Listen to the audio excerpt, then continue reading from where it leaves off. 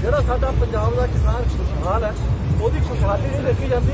ਇਸ ਕਰਕੇ ਪੰਜਾਬ ਤੇ ਹਰਿਆਣਾ ਦੇ ਲਈ ਖਾਸ ਤੌਰ ਤੇ ਇਹ ਜੋ ਕਾਲਾ ਕਾਨੂੰਨ ਬਣਾਇਆ ਗਿਆ, ਸਾਡੀ ਪਾਰਟੀ, ਅਸੀਂ ਕਿਸਾਨਾਂ ਦੇ ਨਾਲ, ਪਾਰਟੀਬਾਜ਼ੀ ਤੋਂ ਵੀ ਉੱਪਰ ਉੱਠ ਕੇ ਉਹਨਾਂ ਦੇ ਨਾਲ, ਮੋਢੇ ਨਾਲ ਮੋਢਾ ਜੋੜ ਕੇ ਖੜੇ ਆ ਔਰ ਉਹਨਾਂ ਦੇ ਹਰ ਸੰਘਰਸ਼ ਦੇ ਨਾਲ ਹੈ। ਔਰ ਮੈਂ ਨਾਲ ਹੀ ਮੋਦੀ ਨੂੰ ਬੇਨਤੀ ਕਰਨੀ ਚਾਹੁੰਦਾ ਹਾਂ ਕਿ ਮੋਦੀ ਜੀ,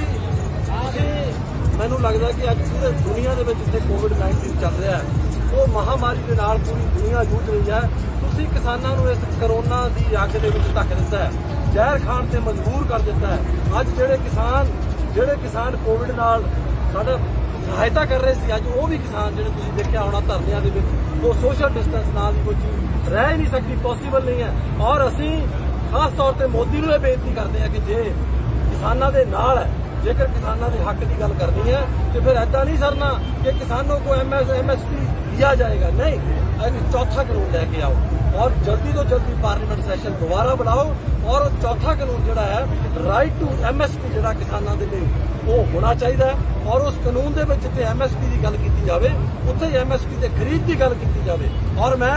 ਕੈਪਟਨ ਅਮਰਿੰਦਰ ਸਿੰਘ ਜੀ ਨੂੰ ਵੀ ਇਹ ਬੇਨਤੀ ਕਰਦਾ ਹੈ ਕਿ ਇਹ ਕਾਨੂੰਨ ਕਾਲੇ ਕਾਨੂੰਨ ਪਾਸ ਹੋਇਆ ਹੈ। ਔਰ ਸਾਡੀ ਸਰਕਾਰ ਹੈ ਔਰ ਸਾਡੀ ਸਰਕਾਰ ਮੈਨੂੰ ਪੂਰਾ ਭਰੋਸਾ ਹੈ ਕਿ ਕੈਪਟਨ ਅਮਰਿੰਦਰ ਸਿੰਘ ਜਿਹੜੇ ਕਿ ਹਮੇਸ਼ਾ ਹੀ ਕਿਸਾਨਾਂ ਦੇ ਮਸੀਹਾ ਰਹੇ ਹੈ, ਉਹ ਇਹਨਾਂ ਬਿੱਲਾਂ ਦੇ ਖਿਲਾਫ ਸੁਪਰੀਮ ਕੋਰਟ ਵੀ ਸਾਡੀ ਸਰਕਾਰ ਜਾਏਗੀ ਔਰ ਮੈਂ ਇਹ ਦੱਸਣਾ ਚਾਹੁੰਦਾ ਕਿ ਇਹ ਜਿਹੜਾ ਕਾਨੂੰਨ ਹੈ, ਇਹ ਜਿਹੜਾ ਬਣਿਆ ਕਾਨੂੰਨ ਇਸ ਸੰਵਿਧਾਨ ਦੇ ਤਹਿਤ ਬਿਲਕੁਲ ਨਹੀਂ ਹੈ। ਕੇਂਦਰ ਸਰਕਾਰ ਜਿਹੜਾ ਸਾਡਾ ਐਗਰੀਕਲਚਰ ਜਿਹੜਾ ਸਬਜੈਕਟ ਹੈ, ਉਹ ਸਾਡਾ ਸਟੇਟ ਦਾ ਸਬਜੈਕਟ ਹੈ ਔਰ ਜਿਹੜੀ ਯੂਨੀਅਨ ਗਵਰਨਮੈਂਟ ਹੈ, ਉਹ ਕੋਈ ਵੀ ਕਾਨੂੰਨ ਜਿਹੜਾ ਸਟੇਟ ਦੇ ਐਗਰੀਕਲਚਰ ਦੇ ਪਾਸ ਨਹੀਂ ਕਰ ਸਕਦੀ। ਅਸੀਂ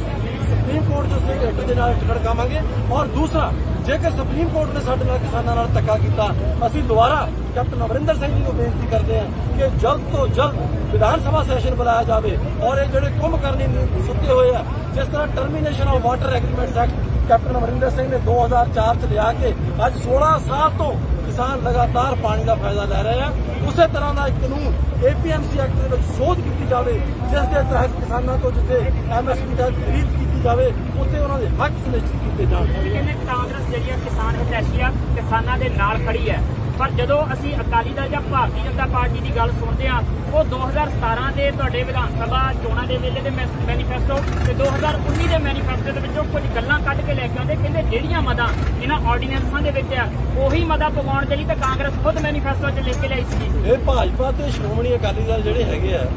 ਇਹ ਇੱਕੋ ਹੀ ਥਾਲੀ ਦੇ ਚੱਟੇ ਵੱਟੇ, ਇੱਕ ਤਾਂ ਬੀਬਾ ਸਿਮਰਤ ਕੌਰ ਨੇ ਬਾਦਲ ਅਸਤੀਫਾ ਦਿੱਤਾ ਹੈ। ਬੜਾ ਲੇਟ ਦਿੱਤਾ ਹੈ। ਜਦੋਂ ਕਿਸਾਨ ਦੀ ਹੱਤਿਆ ਹੋ ਗਈ, ਜਦੋਂ ਬਿੱਲ ਬਣ ਗਿਆ, ਇਹ ਉਦੋਂ ਅਸਤੀਫਾ ਦਿੱਤਾ ਹੈ। ਔਰ ਦੂਸਰੀ ਗੱਲ ਜਿਹੜੀ ਕਰਦੇ ਆ, ਕਿ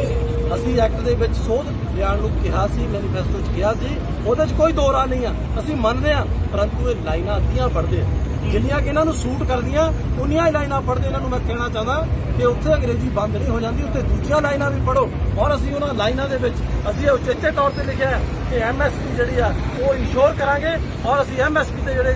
ਖਰੀਦਾਂਗੇ ਔਰ ਮੰਡੀਆਂ ਦਾ ਜਿਹੜਾ ਮੰਡੀਆਂ ਦਾ ਵਿਸਥਾਰ ਕਰਾਂਗੇ। ਔਰ ਅਸੀਂ ਐਮਐਸਪੀ ਨੂੰ without tinkering with the MSP ਅਸੀਂ ਏਪੀਐਮਸੀ ਐਕਟ ਦੇ ਵਿੱਚ ਸੁਧਾਰ ਲਿਆਣਾ ਵੀ ਹੈ ਔਰ ਲਿਆਵਾਂਗੇ। ਅੱਜ ਤੁਸੀਂ ਘਰਾਓ ਕਰਨ ਲਈ ਜਾ ਰਹੇ ਹੋ ਤੇ ਥੋੜਾ ਜਿਹਾ ਅੱਗੇ ਜਾ ਕੇ ਬੜੀ ਤਗੜੀ ਨਾਕੇਬੰਦੀ ਕੀਤੀ ਗਈ ਆ। ਵਾਟਰ ਕੈਨਨ ਰੱਖਿਆ ਗਿਆ ਬੈਰੀਕੇਡ ਲਾ ਦਿੱਤੇ ਗਏ, ਤੁਹਾਨੂੰ ਰੋਕਣ ਦੀ ਪੂਰੀ ਪੂਰੀ ਕੋਸ਼ਿਸ਼ ਕੀਤੀ ਜਾਣੀ ਆ। ਇਹ ਹੈਰਾਨੀ ਦੀ ਗੱਲ ਨਹੀਂ, ਤੁਹਾਡੀ ਆਪਣੀ ਸਰਕਾਰ ਆ ਪੰਜਾਬ ਦੇ ਵਿੱਚ। ਜੇ ਤੁਹਾਡੀ ਸਰਕਾਰ ਦੇ ਅਧੀਨ ਪੰਜਾਬ ਪੁਲਿਸ ਆ ਉਹੀ ਤੁਹਾਨੂੰ ਰੋਕਦੀ ਪਈ ਆ। ਦੇਖੋ, ਸੋਮ ਪ੍ਰਕਾਸ਼ ਜੀ, ਇੱਕ ਸਾਨੂੰ ਇਹ ਗੱਲ ਮੰਨਣੀ ਪੈਣੀ ਵੀ ਉਹ ਯੂਨੀਅਨ ਮਿਨਿਸਟਰ ਹੈ। ਉਹ ਯੂਨੀਅਨ ਮਿਨਿਸਟਰ ਦੇ ਨਾਤੇ ਚਾਹੇ ਸਟੇਟ ਗਵਰਨਮੈਂਟ ਆ, ਉਹਨਾਂ ਦਾ ਇਹ